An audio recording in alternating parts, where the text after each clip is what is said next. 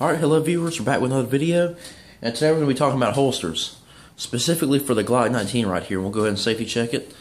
Nothing in the mag well, and nothing in the chamber.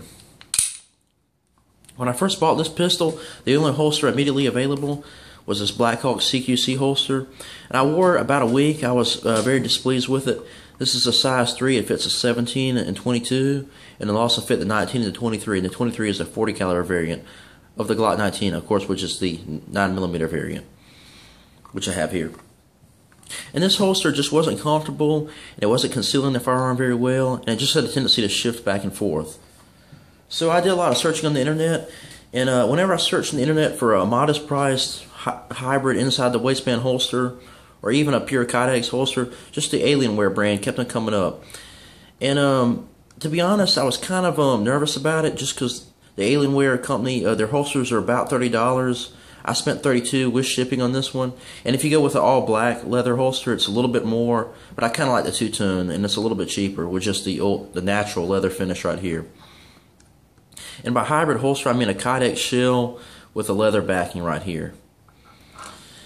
But I was kind of nervous about it, but I decided for $30 I'd go ahead and take the gamble, and I'm really impressed with it so far.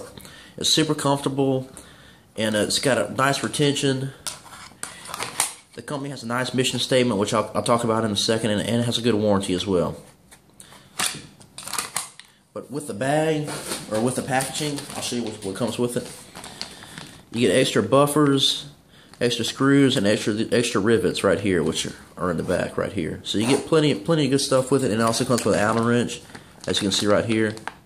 And here's kind of instructions and all that you know good stuff, and it kind of tells telling a little bit about the company course, you got 30 day money back guarantee, forever warranty, and you got this this right here, which I'm pretty impressed with. It's got an unlimited holster shield, trades for life. You know, if you ever decide to get a different handgun, they'll trade your plastic, your old plastic shield for a new one, which is really cool.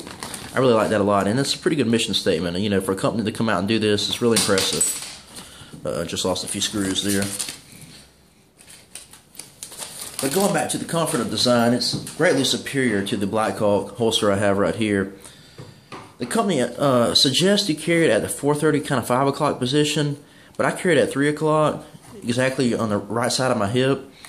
Just due to the fact it's just my body type. when I wore it at the 4:30 5 o'clock position, and whenever I bent over, just no matter how long my shirt was, and I tried this for a variety of clothing, it would just kind of catch up and just leave the leave the kind of handle of the pistol exposed or the grip.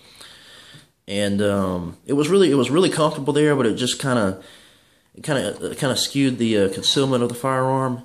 And I started I gave a little bit of the comfort up by switching to three o'clock. But you know whenever you bend over, and it, it you know it's not going to be the handle or the grip is not going to be sticking out, and it just conceals the firearm so much better. I mean, superiorly better using a three o'clock in my uh, in my um my body type personally. But it, it's up to you. Um, like I said, it's comfortable either way, which I was really surprised when he's that comfortable wearing it at 3 o'clock. But I really like it. Um, as you can see, I've worn it a good bit. There's, a, there's some wear on the leather right here. And of course, it's starting to get hot, so it's performed well in the sweat.